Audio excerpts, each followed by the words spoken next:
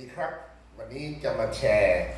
หลายๆ คนก็มีอาการเส้นยืดปวดหลังเลยฮะจากเนี้ยมาถึงเนี้ยแล้วจะนอนแล้วก็จะปวดนอนไม่ได้ อีกหนึ่งท่าที่คนทำกันเยอะนะครับ ผมก็ทำบ่อยๆท่านี้มันจะช่วยได้ดีมากเลยทำบ่อยๆนะครับอะวิธีทำก็คือนี่ครับยืนตรงๆนี่ครับฝ่ามือตรงเนี้ยตรงเนี้ยยึดเข้าไปในนี้ในง่ามขาเนี่ยฮะกดเข้าไปเลยนะครับ ดูนะฮะเนี่ย สุดสุดเลยนะครับไอเนี้ยเอาให้ตึงเอาให้แรงๆเลยกดแรงๆดูเนี่ยดูนับทั้งสิบหนึ่งหนึ่งสองสามสี่ห้าหกเจ็ดแปด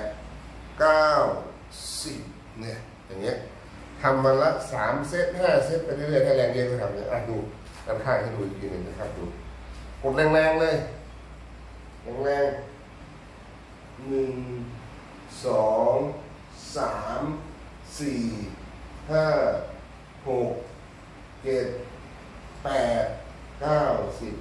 วิธีการทำก็คือว่าให้รู้สึกว่าตัวเนี่ยโน้มไปข้างหน้านิดนึงนะครับเวลาเราเอามือกดเนี่ยมันจะได้มีแรงยืดออกนะครับ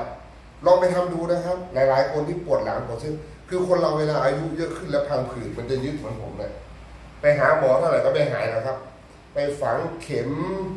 ไปไฟฟ้าไปนวดอะไรแต่วิธีที่เราออกกายเงิน มันเป็นพังผืดพังผืดมันยึด เดี๋ยวก็หายไปทำดูผมคนหนึ่งสุดยอดครับ